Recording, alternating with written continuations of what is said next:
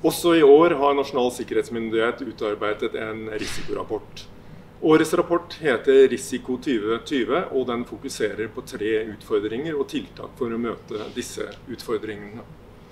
Den første utfordringen som adresseres, er eh, avhengigheten til eh, digitale systemer, eh, satellittbaserte tjenester og kraft.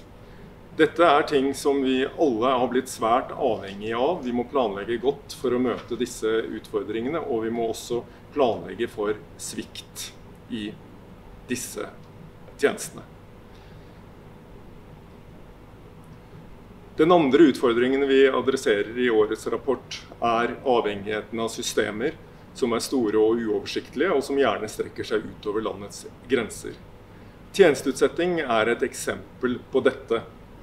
Vi ber om at eh, virksomhetene gjør gode risikovurderinger og stiller seg spørsmålene hva er konsekvensen hvis noe går galt, og hva eller hvordan skal konsekvensen begrenses.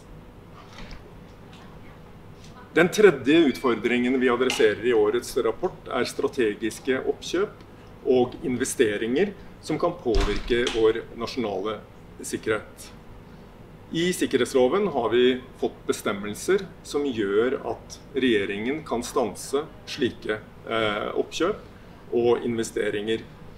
Eh, og vi ber om at eh, virksomhetene varsler NSM dersom det skulle komme situasjoner hvor det er mulighet for eh, sikkerhetstruende aktivitet, eller hvor da virksomhetene mistenker slik aktivitet.